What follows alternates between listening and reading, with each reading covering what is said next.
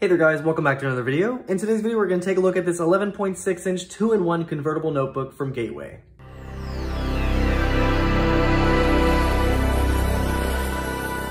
All right, so Black Friday and Cyber Monday are coming up, and uh, you're going to start to see a lot of laptop deals out there. This was only $129 from Walmart, um, so I had to check this out. I had to see what this is all about. Um, this is an ARM-based laptop, so this has a Snapdragon uh, 7C processor, 64 gigs eMMC storage, 4 gigs of RAM, not the greatest specs, but I was really interested more so in this, but also the price. And if you guys remember Gateway of years past, it has the uh, Moo Cow design, if we remember the old Gateway logo and old Gateway computers, I just, uh, that's just wild. So let's go and unbox this and see what comes inside. So in the box, you get a little uh, box on top, our uh, charging block, we have USB-C to USB-C cable, and a stylus.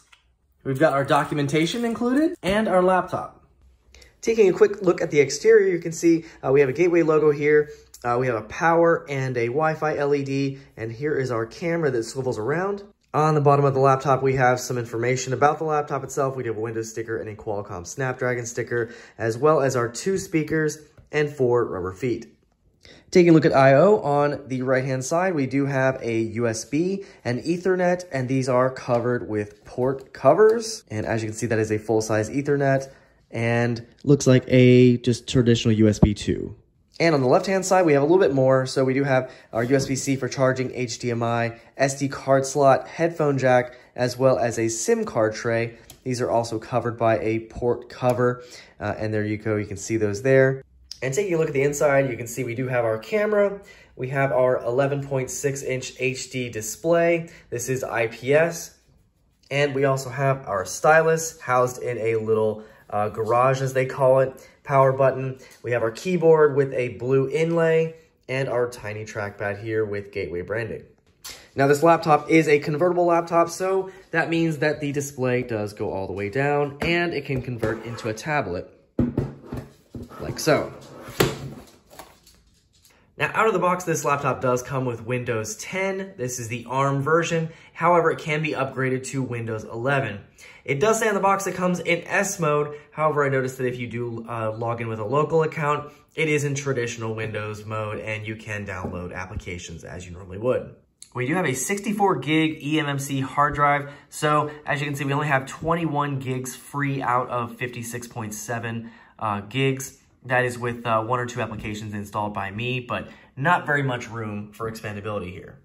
In addition to the lower storage, we also have lower RAM. So four gigs of RAM is included. I really feel like um, that is uh, an amount that we need to get rid of. I think eight gigs should be the standard. And as you can see, that we're running at idle with nothing running, and we're using 67% uh, of our RAM, uh, which absolutely sucks. So you'll be only using one to two applications maybe at a time uh, with this laptop.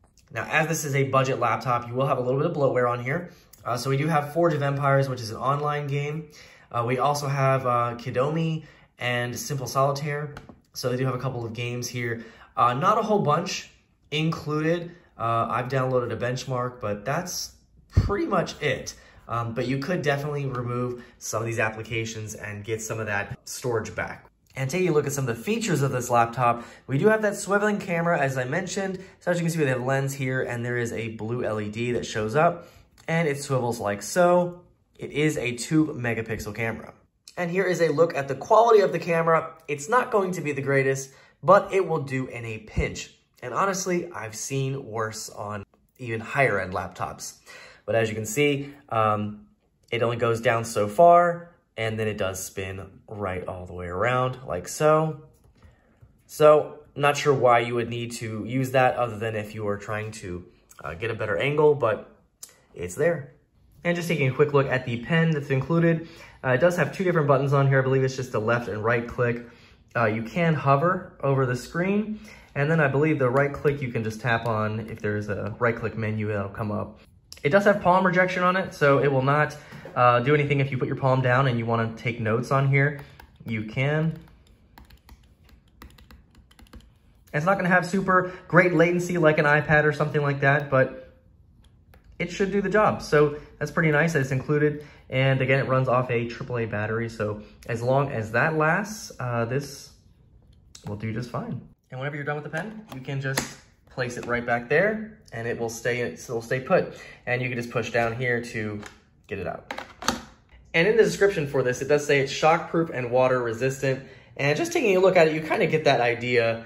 Um, I'm not going to test either of those things, but you can definitely see we've got thick bezels. We've kind of got this interesting plastic. It doesn't feel creaky or cheap.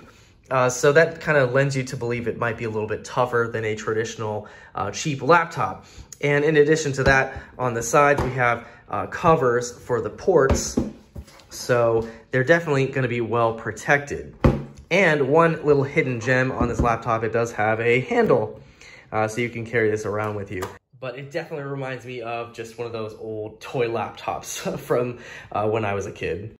In addition to the other capabilities of this laptop, it also has a SIM card slot.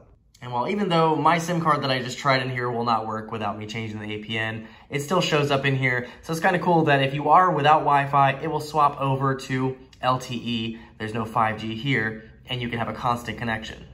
And I'm not gonna run a bunch of benchmarks on this laptop uh, just because we already know it's a low spec machine. You have to keep in mind that uh, Snapdragon processor is going to be a phone processor, so uh, it'll run about as fast as the phone will. Uh, so the CPU score that we got is 532 single core and 1570 multi-core. And just for reference, my main desktop has a Ryzen 3 chip, which is lower end on the Ryzen side, and it got a 1328 single core and a 4582 on the multi-core. So uh, definitely low specs, but should run just fine on this laptop. Now, this laptop does have stereo speakers. They are placed underneath uh, the laptop, and they don't sound the greatest, but here's a quick sample with a Mr. Beast video. This is a video of the best workers on the planet. The best. Like this guy. We do have some volume controls here. In under one second. Or this person who can do the job of a hundred people. That's crazy. We should hire. Speed. And here it is in tablet mode. And you can see it is buffering, and it really has a tough time with uh, with watching video. This is trying in 1080p, so 720p should be just fine with it though.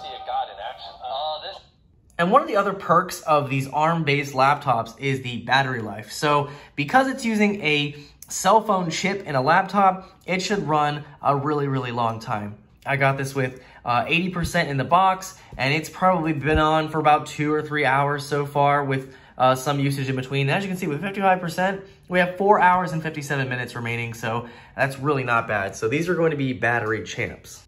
Now, while I think this is a solid deal for this laptop because it does include, again, a touchscreen, a stylus, has this tough outer casing, has the port covers, water resistance, shock resistance, uh, it has LTE capability. This one I got is a dud, and I'll show you why.